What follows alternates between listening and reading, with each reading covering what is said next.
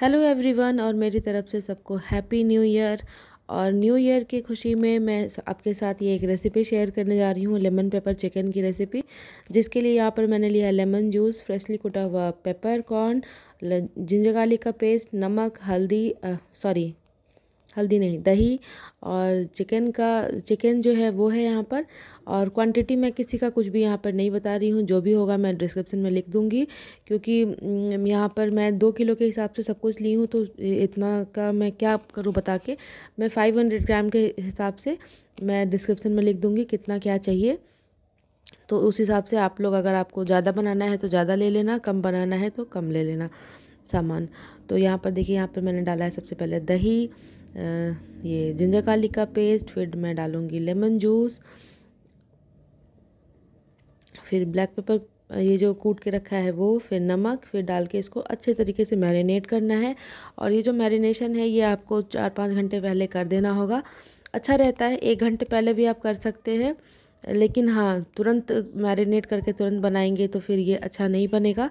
कम से कम एक घंटे पहले तो आपको मैरिनेट करना ही होगा।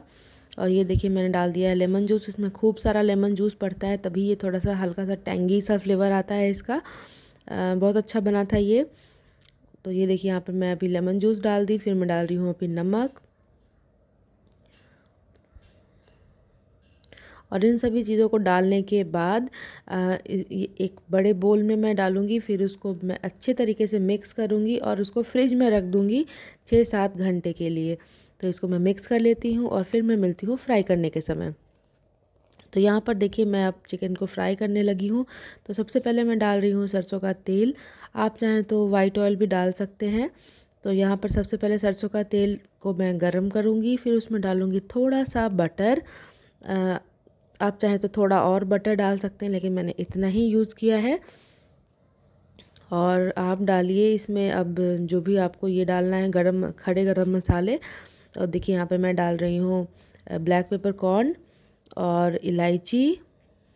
ये चार पाँच इलायची डाल दिया मैंने। फिर डालूँगी मैं थोड़ा सा सिनेमन स्टिक एक और तीन चार लौंग।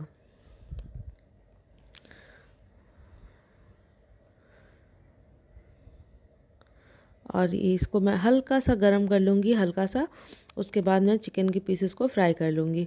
तो एक साइड में आप देख सकते होंगे देख रहे होंगे कि अभी एक में बैच जो है वो बन भी रहा है। तो क्वांटिटी थोड़ी ज़्यादा थी तो बहुत सारे तीन चार बैचेस में बने थे।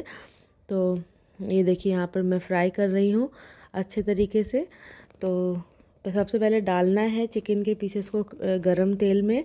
उसके बाद इसको छोड़ देना है तीन चार मिनट के लिए। उसके बाद जब तक नीचे एक गोल्डन सा कलर आ जाएगा, ध्यान रखना है, जल ना जाए, क्योंकि ये बहुत जल्दी जल जाता है और हल्का सा गोल्डन कलर आ जाएगा तो इसको पलट के फिर से एक बार और गोल्डन कर लेना है। ये देखिए, यहाँ पर दो मिनट हो चुके हैं तो यहाँ पर मैं पलट रही हूँ। ये आप देख सकते हैं कितना अच्छा सा एक कलर आ चुका है यहाँ पे। तो इसी तरीके से गोल्डन कलर दोनों तरफ़ आ जाएगा। फिर इसमें बाकी के जो भी सामान बचे हुए हैं, वो मैं डाल दूँगी। तो ये देखिए, ये इसको भी अच्छे से पलट दूँगी मैं और पलटने के बाद और थोड़ा सा फ्राई करूँगी।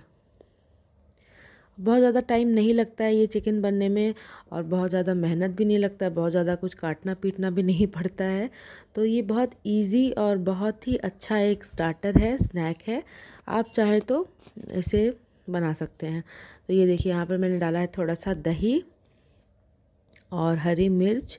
फिर से मैं बता दे रही हूँ कि जो भी मैं डाल रही हूँ ना इसमें सामान, वो सब मैं डिस्क्रिप्शन में लिख दूँगी, कितना क्वांटिटी में मैंने क्या यूज़ किया है। और यहाँ पर देखिए ब्लैक पेपर जो है वो कुटा हुआ, यहाँ पे रखा हुआ था, वो भी मैं इसमें डाल रही हूँ अभी।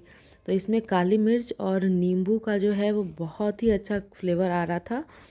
इसका नाम ही है लेमन पेपर चिकन तो इस दोनों का ही फ्लेवर बहुत ज़्यादा आता है। और इसमें तो कोई ख़ास मसाले गए नहीं हैं, प्याज और वो सब चीज़ें तो है ही नहीं। तो ये देखिए, ये हमारा जो लेमन पेपर चिकन है, ये इस तरीके से बन के तैयार हो गया है। इस साइड में सारे लेग पीसेस बन रहे थे और इस साइड में छोटे छोटे वाले पीसेस। तो ये देखिए, ये बन के तैयार हो चुका है। तो एक बार मेरी तरफ़ से आप सबको फिर से हैप्पी न्यू ईयर!